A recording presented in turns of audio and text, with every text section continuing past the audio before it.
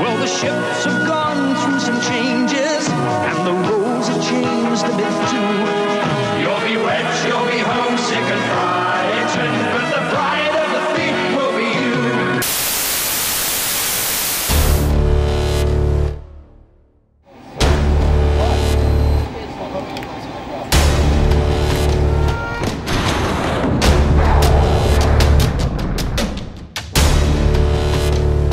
change the uplift.